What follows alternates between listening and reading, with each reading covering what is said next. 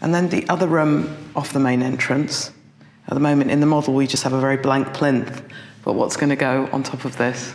The plinth is, as I call it, the, the, the room, I call it the inspiration room. I mean, it's, it's more talking about the, the process of, of what are um, objects that uh, uh, mean something important to me. And, and on that plinth, I decided to, uh, to put primarily my collection of stones that I've been collecting over many, many years, mm-hmm. even as a child, and, and, and kept them all these years. And I still collect stones is how I display those stones to give some suggestions um, over the process with which I design. So I decided to kind of focus on one type of object of this collection to communicate that process and the way that I think. It's about obsession, it's about looking for the perfect uh, shape mm-hmm. in nature and, and allowing nature to become the designer, mm-hmm. but still looking for perfection in nature, which is quite contradictory at yeah. the same time. I mean, what is the perfect shape? Because the first stone was a round stone, no? It had always been a round sphere. Right. I mean, even as a teenager, I remember sort of always looking down, you know, whenever I would walk in, in the fields or on the beach, and mm-hmm. I would always look for the perfectly uh, round uh, mm-hmm. uh, stone. And and what I could see sometimes, which would excite me hugely, was this kind of form that looked so promising. And then when I would pick it up, the disappointment of actually uh, not having the same shape reflected on the other side. Mm-hmm. But sometimes it was absolutely perfect or near perfect.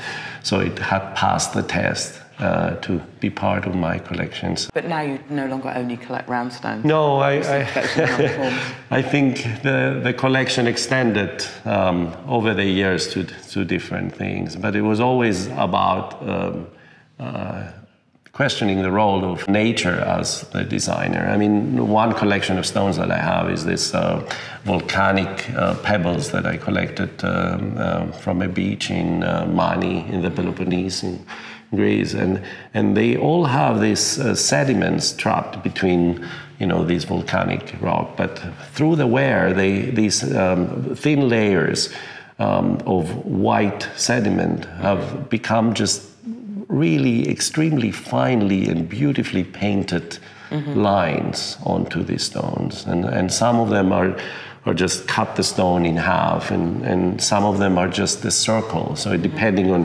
how they where uh, over the years or how they were over the years, then, then, then they acquired these different uh, sort of uh, uh gestures uh, of these fine uh, white lines. So there's, there's one configuration on the plinth of, so of following the line somehow. Groups, yeah. There was this perfect stone given to you by Neoptolemus, wasn't there?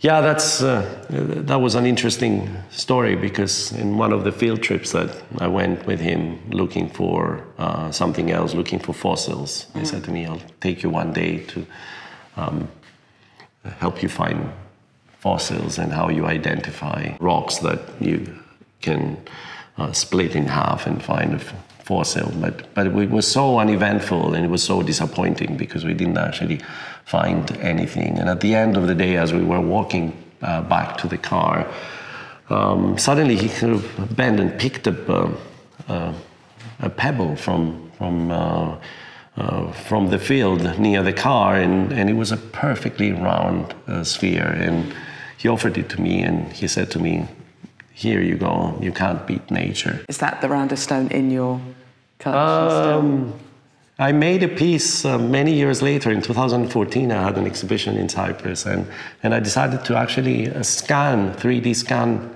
that stone and uh, scale it up and carve it again in stone.